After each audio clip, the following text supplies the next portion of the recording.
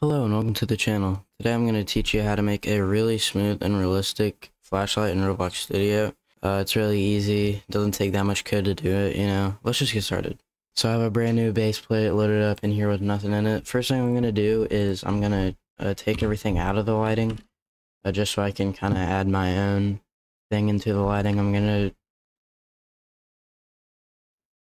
I'm going to change the time to zero. I think flashlights work best at nighttime. I'm going to change the brightness down to 1. I think uh, maybe make the ambient a little darker. That doesn't really do too much. And then I'm going to change technology. Make sure you change the technology from shadow map to future or if you have anything else. It looks the best in future because it's just the most realistic lighting there is. It just makes the lighting look really nice and realistic. Next thing I'm going to do is I'm just going to add maybe a color correction, put the contrast at 0.1, and then add maybe a depth of field, in focus radius, in focus radius, make it about 8, and I think that's pretty good. Actually, I'm going to add a sky as well. And then that's it, I'm done with my lighting. I think you could make this at any time of day, but it, I think it would work best at night time, just because, you know, that's kind of how you know, you probably need flashlights in dark areas. And then, so now we're going to make the actual flashlight. So first thing what we're going to do is we're going to insert a part, make the size 0.1, comma, 0.1, comma, 0.1, enter. And then so now it's this really small little cube. We're going to go down and change the properties. We're going to turn off can collide, turn off can query, turn off can touch, and then make sure that it is anchored. And then uh, I'm going to rename this part to flashlight. And then I'm going to click the plus up here next to it and I'm going to add a spotlight. This is the actual thing that's going to, you know, like be the actual flashlight. So I'm going to turn on shadows so it looks better. Uh, I like to my, have my angle at 50 and the range at about 30. I think that works pretty well. And then we're going to take this whole flashlight thing and we're just going to pop in replicated storage. And then we can actually get the scripting. So we're going to put the our a local script inside of starter character scripts inside the starter player. And then I'm going to change the script name to flashlight script. And then we can get started with scripting. Okay, so first thing we're going to need to do here is make a few variables. So we're going to go local camera equals workspace dot current camera. Then we're gonna need to get the replicated storage. I'm just gonna put RS. I have to abbreviate uh, everything like that. Game dot replicated storage. Then we're gonna get the flashlight uh, equals RS dot flashlight. Then we're gonna need to get the run service because I've already abbreviated RS as replicated storage, which I like to do in most games. Then we're just gonna call the run service run service and then game pull and get service run service. And we also need to get a clone. So local clone equals just a clone of the flashlight, which is actually what's going to be used for a player, so it can be used for like multiple players. Clone.parent equals script.parent, so it's in the player's character. Then we're going to need to get the player's mouse, which is pretty easy. Local mouse equals game.player, not parent, game.players, dot local player colon get mouse, which just makes it so that you can get the mouse kind of in the name. Then we're going to get the tween service, local ts equals game colon get service, tween service, and let's get tween info while we're at it, tween info.new. And then we're going to make this point one so it doesn't take long to, you know, show up.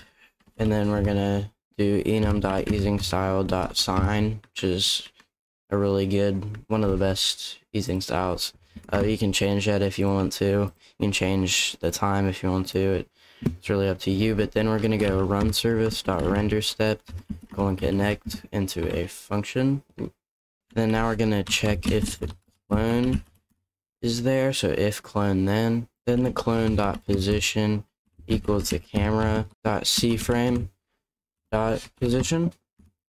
And then we're going to go t tween service colon create, and then we're gonna tween the clone, get our tween info in there, and then property cframe equals cframe dot look at clone dot position comma mouse dot hit dot position.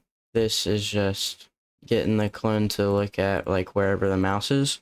And then at the end of this, we're going to have to play it. So let's test that out and see what that looks like. Okay, so I'm in the game and it takes a second to load in all the lighting.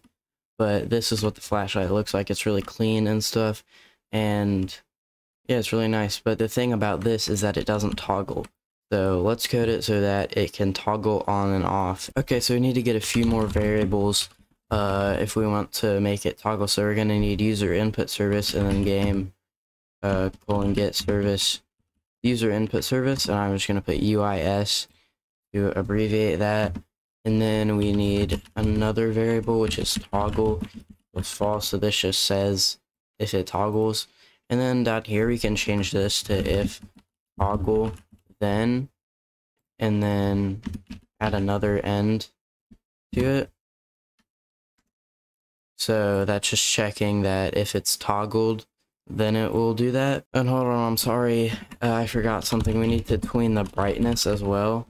So local brightness equals uh, 1, that's what my brightness is. So then we need to go down here and tween the brightness because that's something we need to do down here. So put it in the if toggle then. Uh, then we're going to go clone dot spotlight, uh, tween info, and then brightness brightness equals brightness so it just makes the brightness equal our variable brightness and then but what if it isn't toggled then we're gonna put else and then we're gonna make a tween so that it kind of shuts off so clone dot spotlight and then tween info and then brightness equals zero so that makes sure that if it's not toggled then the brightness is gonna equal zero. Basically, the light in the flashlight turns off.